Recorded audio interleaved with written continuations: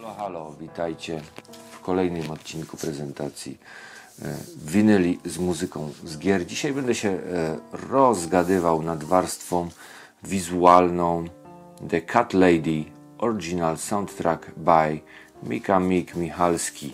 Cat Lady jest to polska gra e, studia Harvester Games. Jest to typowa staroszkolna przygodówka 2D, gdzie mamy dosyć zakręconą fabułę, której tutaj nie będę zdradzał. Musicie sobie sami w tą grę zagrać, bo pomimo tego, że gra sprawia wrażenie takiej brzydkiej, jakiejś takiej e, jakby skleconej z przypadkowych elementów, to po czasie ta grafika zaczyna e, nas urzekać i, i jesteśmy wciągnięci w historię. Warstwa wizualna prezentuje się następująco. Oczywiście jest to gatefold. Najpierw e, złapię za płyty, ponieważ płyty zostały wydane w standardowym czarnym kolorze. Co ciekawe, tylko 500 sztuk, 500 egzemplarzy zostało wydane na cały świat. Na stronie A mamy taką grafikę. Na stronie B jest z kolei taka grafika jakby, jakby miasta. Z kolei płyta druga mm, jest już w takich troszkę e, pomarańczowych tonacjach i mamy stronę C i stronę D. Jest to obszerny, obszerny soundtrack zawierający kompletną ścieżkę dźwiękową. Tutaj widzimy, jakby ta postać była stara. Na tej płycie tutaj jest z kolei postać młoda. Mm. Ale jest też bardzo ciekawy e, koncept związany z grafiką z, tych, e, z, tej, z tej płyty. Mianowicie mm, tutaj mamy oczywiście utwory na stronie C i D. Tutaj mamy tradycyjnie utwory na stronie A i B. Natomiast jeśli jesteśmy sprytni, to możemy sobie połączyć to wszystko. Możemy sobie to połączyć w ten sposób. I wychodzi nam z tego taka jedna, jedna grafika.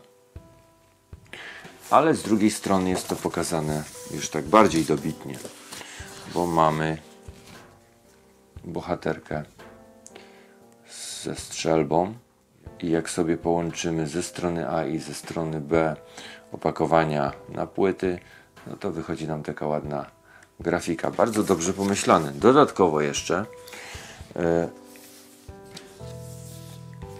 mamy tu jakby takie alter ego, odbicie lustrzane. Alicja po drugiej stronie lustra. Nasza bohaterka Teraz spróbuję tak, żeby te lampy się nie odbijały. Nasza bohaterka z kotem oczywiście.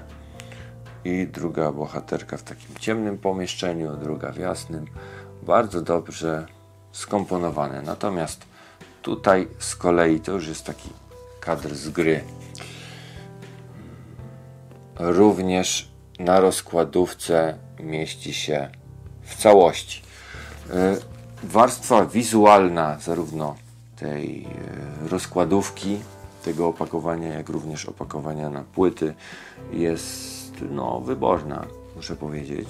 Bardzo dobrze przemyślana. Jedna z ładniejszych płyt w mojej kolekcji. Ja mam tutaj e, numer 161 z 500. Wydaje mi się, że jeszcze ten soundtrack można gdzieś kupić. W zwią- W związku z tym, że jest to soundtrack taki typowo horrorowy, to mamy oczywiście pianino, mamy skrzypce, mamy jakieś niepokojące dźwięki, ale jest to polane takim polskim sosem. To nie jest takie, takie jakby, że tak powiem, takie proste jak w Silent Hill. Tutaj jednak autor się trochę bardziej wysilił i ta muzyka jest troszkę bardziej skomplikowana niż muzyka z Silent Hilla, a my gdzieś właśnie e, podróżujemy między takim klimatem tutaj Silent Hillowym e, i rezydentowym.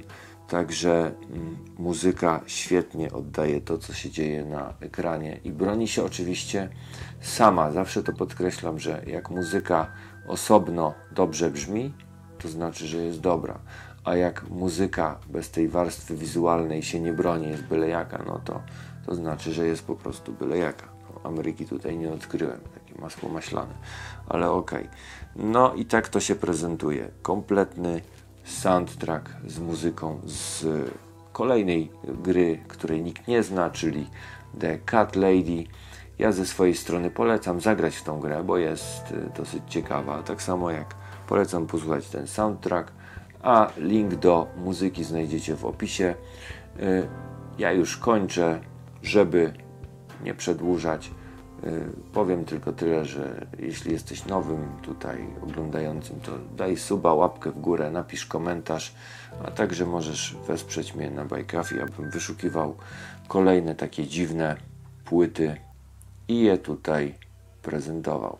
Trzymajcie się i do następnego filmu. Cześć.